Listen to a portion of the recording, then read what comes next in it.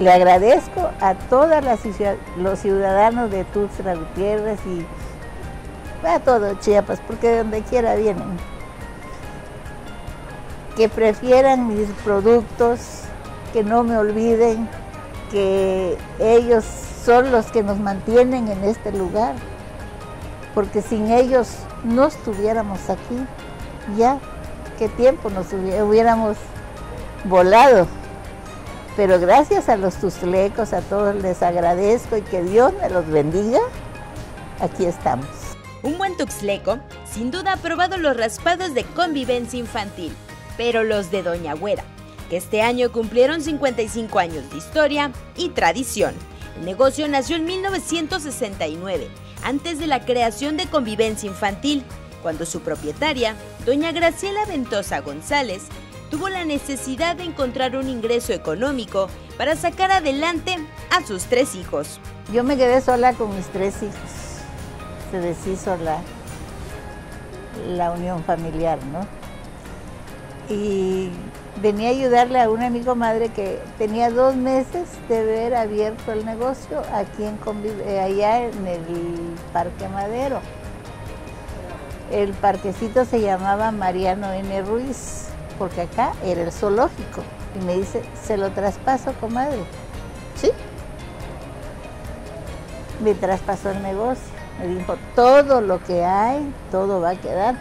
Sí, está bien, sí, perfecto. En tanto, perfecto. Empecé a hacer el, el raspado de vainilla.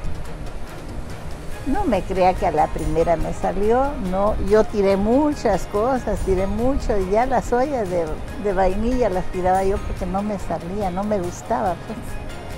Otras veces se me cortaba la leche y pues no, pues tiene que salir. uno es, este, como le dijera yo, persistente, pues, ¿no? Hasta que me salió, hasta que a mí me gustó porque si a mí no me hubiera gustado no lo hubiera yo hecho. Ya teníamos raspados de vainilla, de, fresa, limón. Hicimos este tamarindo y así fuimos, fuimos incrementando los raspados. La especialidad de la casa es el raspado de vainilla con plátano, pero a lo largo del tiempo se han elaborado más sabores, como el de chamoy, tamarindo y fresa. Hasta que llegamos ya a todos los sabores que tengo ahorita. Pero todos esos sabores han pasado por mi gusto. Que esté, que esté sabroso, que esté bien, que al cliente le guste. Porque nosotros vivimos del cliente. Del cliente vivimos. Y tenemos que darle algo bueno pues para que vuelva a regresar. Porque si no sirve ya no regresa. El camino no ha sido fácil para doña Graciela, pero todos los esfuerzos han valido la pena, porque gracias a este negocio, hoy se siente feliz y realizada. Una gran satisfacción. me siento ahora sí que realizada de que lo que hice les gustó y ahí me siguen buscando. Siguen buscándome vienen otra vez y otra vez y otra vez. Vienen hasta con bisnietos. ¿Sí? ¿Cuántas generaciones he visto pasar aquí? Muchas. 55 años se dice fácil, pero es toda una vida.